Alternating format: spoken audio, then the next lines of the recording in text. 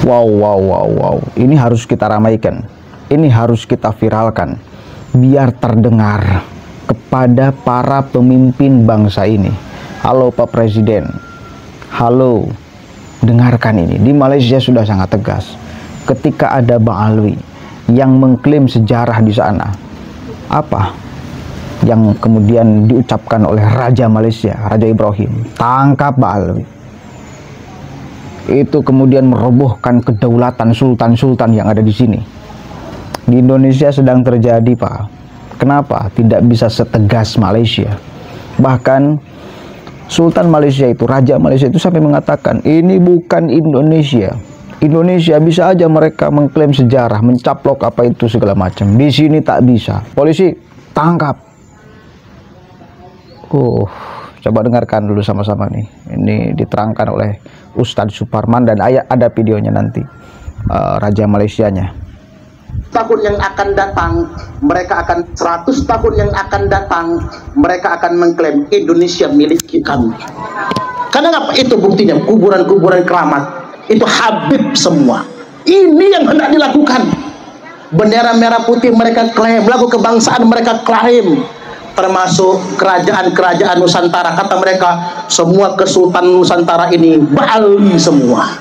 Nah kita diaku begitu malah pepelongoan halo? Kok kita malah pepelongoan saya jadi ini lagi viral ini. Sultan Malaysia Raja Malaysia Sultan Ibrahim mengatakan begini ketika ada Habib di Malaysia mengatakan semua kesultanan Malaysia itu adalah Ba'alwi semua maka Raja Malaysia Sultan Ibrahim marah. Tangkap yang ngomong. Kerajaan-kerajaan Malaysia itu keturunan Baal tangkap. Apa kata dia? Ini bukan Indonesia. Palak bapak kau kata dia Haji Haskira sekarang orang ini melarikan diri. Orang keluar-keluar di, di dalam di dalam apa dalam TikTok. Mendakwa. Oh sultan-sultan oh, sultan keturunan Mbak Alawi. Oh. sekarang dia dicari. Nomor telefon dia pun dia sudah kasih dia sudah mati kan?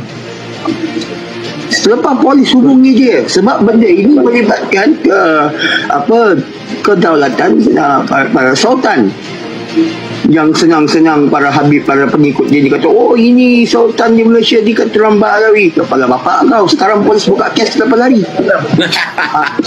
Lari cuan lari.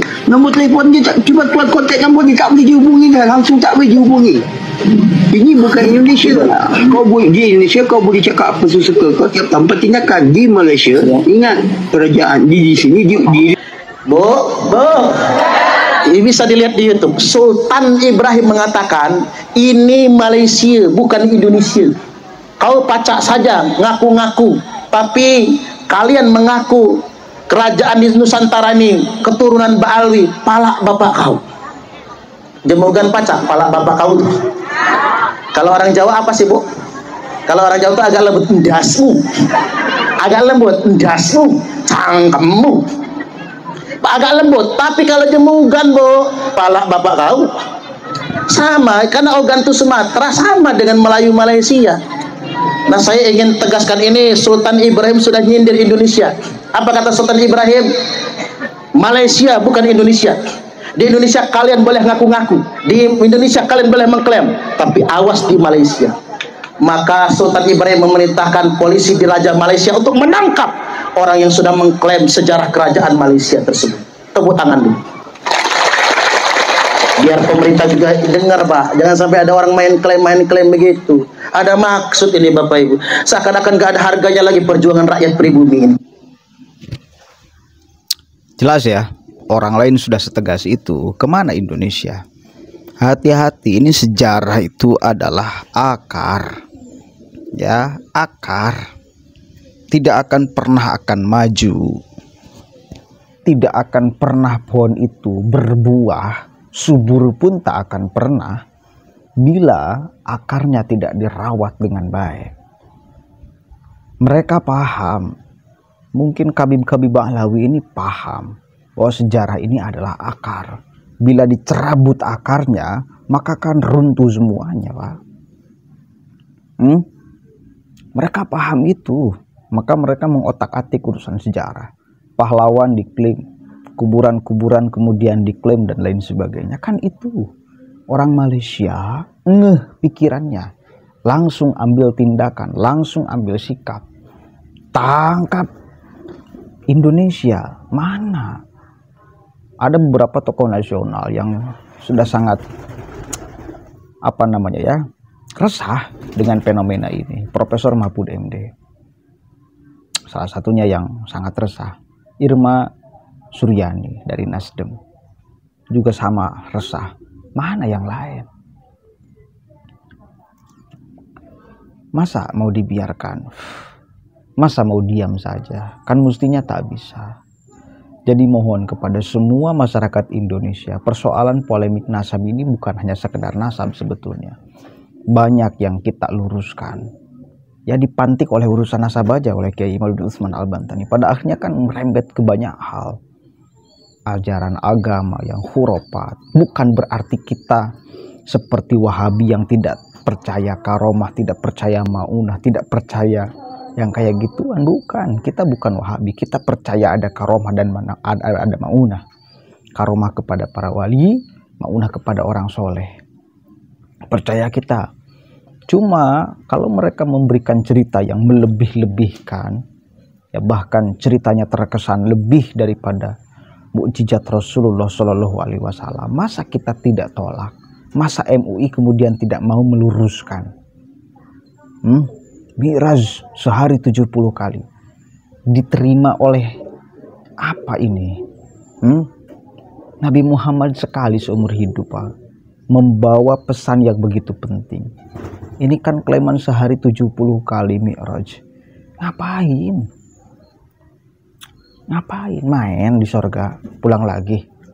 Main di langit, pulang lagi.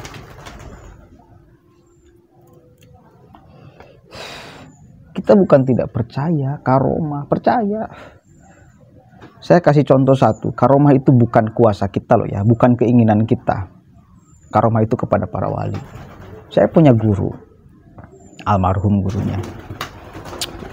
Wajejen Sukabumi. Beliau adalah wakil talkin ya. Beliau mengatakan menceritakan karomah para wali. Salah satunya yang beliau ceritakan itu Syekh Hasan Basri. Dulu ada namanya Syekh Hasan Basri. Beliau itu waliullah. Bukti kewaliannya jadi suatu ketika ada beliau pernah berkata setiap ada air pasti ada ikannya. Ah, itu dijadikan uh, alasan untuk eh, orang-orang uh, yang memusuhi Islam pada saat penjajahan Belanda ya. Kemudian menyerang Syekh Hasan Basri. Oh, ente penipu. Oh, ente bullshit. Mana ada? Setiap ada air ada ikannya. Itu di dalam kelapa ada airnya tak ada ikannya. Ente bohong. Nah ini kan di dalam situasi terdesak nih si Hasan Basri. Keceplosan ngomong akhirnya kuasa Allah di sana kata si Hasan Basri coba ambil kepala kelapa. Diambillah satu butir kelapa. Ketika dibelah benar memang ada ikannya. Jadi di dalam situasi sangat terdesak Allah mempertimbangkan orang ini harus ditolong. Maka Allah tolong ucapannya menjadi terbukti. Udah selesai di sana. Tidak lalu setiap hari Syekh Hasan Basri ketika lapar pengen ikan lalu nyuruh santrinya, "Hei santri, ambil kelapa, belah di sana pasti ada ikannya." Enggak seperti itu konsepnya. Jadi kita harus paham, kita tahu ngerti karomah. Ya kan pada akhirnya mereka itu menyudutkan seolah-olah kita itu orang Wahabi yang tidak percaya karomah. Enggak, kita percaya karomah. Tetapi karomah juga yang rasional, yang tidak dibuat-buat, yang masuk akal. Gitu loh, masuk akal. Masuk akalnya bukan setiap hari seorang wali itu memakai karomah itu, tetapi dalam situasi sangat terdesak kalau mempertimbangkan si wali itu harus ditolong, maka lo tolong. Gitu loh. Itu contoh karomah yang kita percayai ya itu persoalan khurafat, persoalan pengklaiman sejarah dan masih banyak lagi. Ini yang kita luruskan. Mohon kemudian pengertiannya kepada semua masyarakat Indonesia. Dan yang kita ucapkan ini disadarkan pada ilmu, bukan kebencian. Eh, apalagi ingin membelah umat Islam yang tanpa ada efek positif enggak. Kita ini berpendapat, mungkin berbeda, pasti berbeda dengan Habib dan Muhibin. Tetapi kan ayo kita coba renungkan pendapat kita ya pendapat Kiai Imadun Usman Al-Bantani dan yang lainnya masuk di akal atau tidak. Ini untuk kebenaran dan kebenaran itu tak mungkin bisa dikalahkan dan tak mungkin Anda bisa mencegahnya. Itu loh dasarnya. Eh? Al ilmu adalah nurun.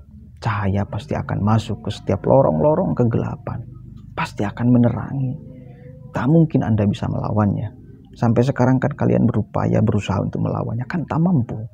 Kebenaran itu masih terus terpancar bahkan lebih terang. Masuk ke setiap pelosok negeri ini. Ke setiap kepala anak bangsa. Itu faktanya. Hmm, begitu ya. Mudah-mudahan ada manfaatnya. Ayo dong pemerintah tegas. Nih Raja Malaysia sudah setegas ini masa kita tidak mau tegas.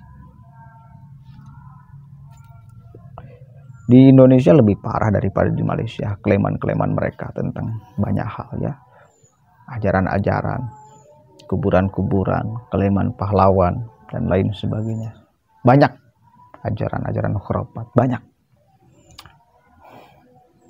ayo MUI mestinya kumpulkan dong para ahlinya rembung tuh dengan kemenang putuskan menjadi keputusan pemerintah harusnya bagaimana baiknya seperti apa menyikapi penyimpangan-penyimpangan itu.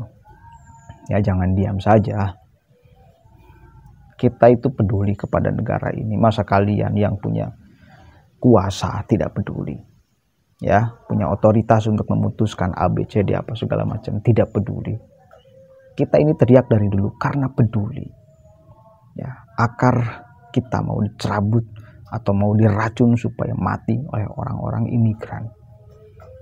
Dan bahaya bila akar sejarah ini dicerabut pohonnya tidak akan mungkin bisa tumbuh apalagi berbuah. Artinya negara ini tak akan pernah bisa maju bila akarnya sejarahnya tidak kokoh. Ya mudah-mudahan ada manfaatnya assalamualaikum warahmatullahi wabarakatuh